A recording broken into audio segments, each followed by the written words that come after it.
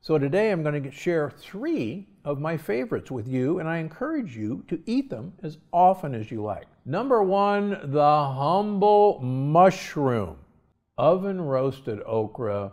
Finally, number three, dark bitter greens like arugula, Swiss chard, bok choy, and radicchio, what some people call the Italian red lettuce.